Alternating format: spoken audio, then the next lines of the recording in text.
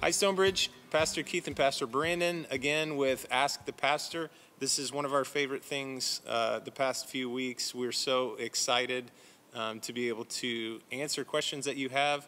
And uh, hopefully, it's been a blessing to you. It's been a real blessing to Yep. us just to be able to talk about these things. Especially, you have no idea sometimes how many takes we do, making sure that we don't look like idiots, which is always super fun. and never really No, accomplished. it's all they're always they're always great though. Um, but maybe maybe we'll have a blooper roll some point. Uh, probably not. Uh, today's question is submitted to us by Heather Taylor. Thank you, Heather. Um, and this one is pretty exciting for us. Out of curiosity, how do pastors go about preparing a sermon? What does that process look like? And how far ahead do you plan a sermon series?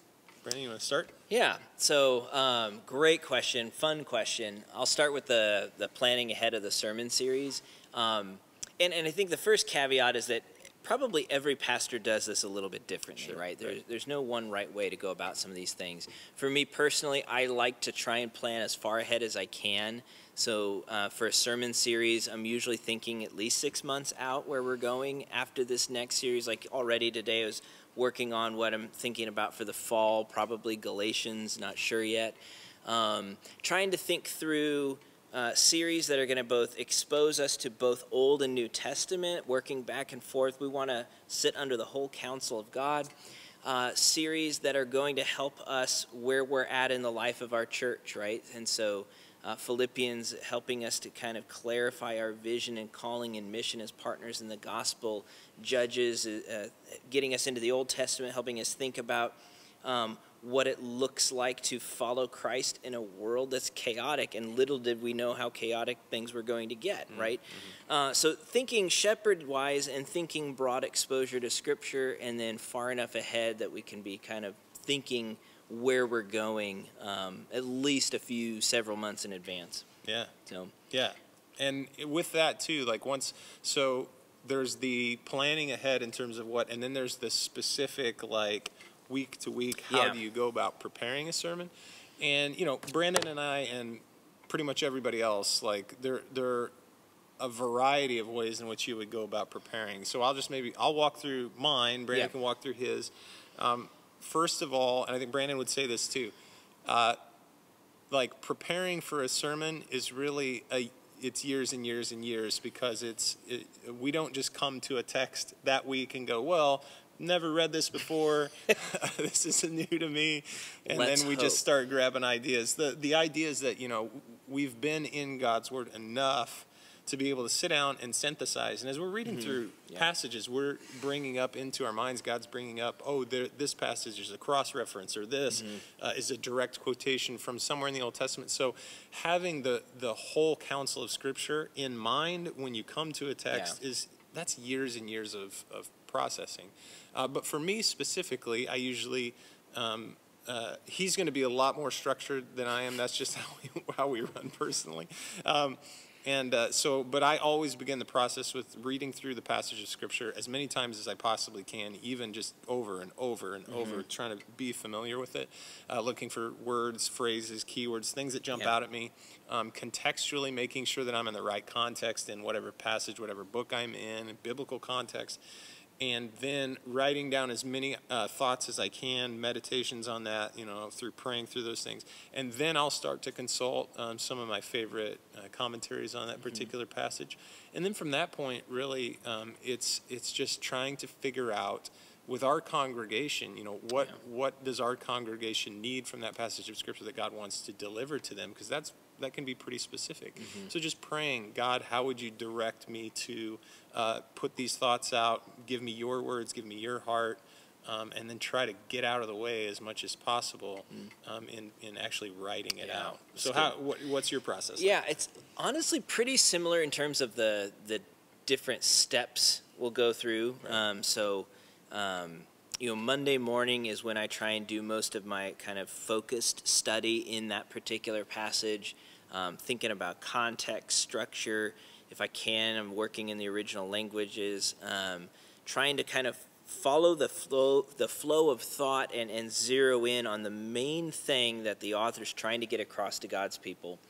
Um, and uh, kind of collecting that together and then Tuesdays, we've been doing something. The coronavirus has put this on halt a little yeah. bit, but we've been doing something this last year that's been really fun. Getting our preaching staff and some of our elders and other teachers in the church uh, together to kind of look at the text that's going to be preached that uh, following Sunday. We mm-hmm. start by reviewing the previous Sunday sermon, giving feedback on that, and then working in the text together. That has been hugely helpful for me uh, listening to Keith's insights or Robin's or other people's as we kind of wrestle together. And then from there, I'm probably looking at commentaries, um, both technical ones, if there's something that's mm. tricky and I'm not quite sure what it's doing, or uh, oftentimes preaching commentaries are really helpful for me because yeah. it's hard. The process of, of preparation that's harder for me is actually getting it across. Like the study part comes pretty natural. I have to work twice as long to clearly communicate. And so Wednesdays is just writing. Um, that's kind of most of my day on Wednesdays. And, uh, and, and for me, I articulate in the process of writing rather than in the, in the moment of speaking. So if I were to stand up here with a list of bullet points, uh, none of you would be well served or well fed. Um, and uh, my wife can always tell when I go off of my notes because I just start circling and, and, and such. So um, so writing it out is really critical for me. You're a little bit you you kind of think in bullet points, and your your outline will probably be looser yeah, when you step into yeah, the Yeah, nobody right? is well served by me writing it out. I think the last time I wrote one out, I think it was nine pages long so, so yeah, you can see that, that we're wired differently, yeah. but um, so much of what's important in preaching, though, is not just the process, but the conviction. Uh, the conviction that it's God's word that must be on display. That it's what you need from us on Sunday is not our opinions right, or our ideas, Boy, right? That's the truth. Uh, what you need is for us to stand up and say, "Thus says the Lord," yeah. and and so that that the kind of sermons we're preaching are those where the main uh, idea and, and message and aim of the text is what's driving the message and aim of the sermon mm-hmm. every week. Mm-hmm. Um, and, and then, you know, the other thing we didn't talk about is, is thinking about how this text, um, at least uh, another step I kind of skipped, how does the gospel show up in this text right. and how does the gospel come through this text? Right. Because we want to make sure our application is both connected to the congregation where you're living, but right. also applied through the message and power of the gospel. That right. it's the Spirit of God that enables us to obey this word. And so there's all sorts of different, you know, it's fun to kind of stop and think through what all goes into that. Um, there's lots of different questions that we'll ask each week of, of the text and of ourselves as we're wrestling with it. But. Yeah, and sermon preparation really is an active. It's it's an active part of worship. Yeah, not just an act of teaching. Um, mm-hmm. Um, in some circles, it's viewed probably more as instruction or you know help me know what yeah. I'm supposed to do. Uh, whereas when Brandon and I approach sermons, we're always thinking, how is this going to magnify Christ? Yeah. Like, how do we how do we make Christ look the way that Scripture presents him, beautiful, winsome, like yeah. drawing that the gospel yeah. draws us in and changes us and motivates us to live out that change. Yeah. That's the that's where we're always going to land. So when we talk about sermon preparation, we're not just thinking uh, that it's an intellectual exercise. It's Absolutely. not. It's not just a, a primary intellectual. It's it's a worship. It's a yeah. position of the heart, and again, like presenting Jesus as beautiful to our congregation. Absolutely, it's really easy to approach the sermon as just information that I need to learn. Right. Right. And if I don't remember it, uh, then the sermon wasn't valuable. um, and, and I'll be honest, I don't remember what I preached three weeks ago. all right, so so it's not just information. Obviously, it should be information in there, but it's also preaching both what you said for exaltation of God and transformation of lives. And so, it, it's a better analogy um, than a than a lecture is a meal. Like I don't remember what I ate for breakfast last week, but I'm pretty sure that meal was uh, instrumental in my nourishment and health. Mm-hmm. And so, feeding on God's word as God's people, um, making much of Christ together, seeing the beauty of Jesus in the gospel, and being changed by that, and helped to put it into practice. Application matters, but it's got to be an application that comes from the heart of God and the grace of God.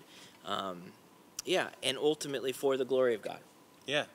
So hope we hope that makes sense to you. And again, there's there's just so much breadth in how we would go about doing that. Mm-hmm. Um, but it is fun. You know, one of the one of the best things uh, about being in a place where we team teach is just drawing from each other's yeah. strengths. Whereas, you know, either in our preparation or in our delivery, we're going to go about it different ways. But it's a beautiful thing where God takes. Um, uh, flawed instruments and allows them to work together uh, yeah. hopefully for his glory. So um, hope that gives a little bit of insight, Heather, and anybody else who might be interested in that. Um, but uh, like, yes, let's always look at sermons as an opportunity to make much of Jesus mm-hmm. um, and uh, to walk in the gospel uh, after that as much as possible. But uh, love to hear more of your questions. Keep sending them our way. Uh, and we can't wait until we get to hang out with you guys in person. Uh, that's what we are just praying for and, and laboring for right now. So uh, hope to see you soon.